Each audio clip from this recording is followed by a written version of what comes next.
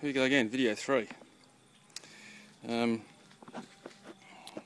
I uh, got a bit of insight on the uh, length of the driven element for this, and I did that by emailing the guy who, who the plan who put the plans up on the interwebs, and he was very helpful. Uh, thank you very much, Frank, if you watch. And um, here's the ends of the loop. Right here, one there, one there, that's the start, that's the finish. And this here is the uh, tuning capacitor.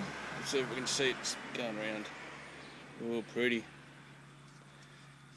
Okay, all done. That's just actually sitting pushed down firmly into this uh, mounting block, plastic mounting block and then that's cable tied onto, see if you can see that, maybe, I can't tell. Uh, that's cable tied onto the one of the uh, main conduits there.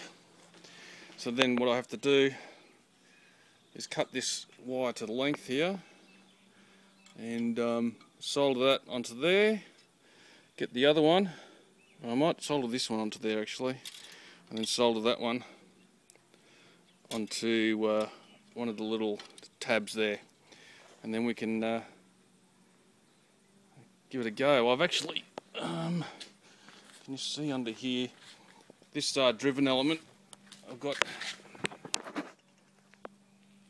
I've just got uh, a uh, joiner there, goes in there, and the other one, other side goes in the top bit, so um, then I can just hook in a bit of RG6, not RG6, what am I saying? RG58 or even 213 with a connector on it. Um, and uh, hopefully she works. So here's the plans. I've put the uh, link up on the forum, but if someone wants I can, I might even put it on the YouTube channel as well and uh, people can have it, give it a bit of a crack. Even if it doesn't work, it's a good experiment anyway. Alright, thanks for watching guys and girls and people and things and RF nerds. See yous.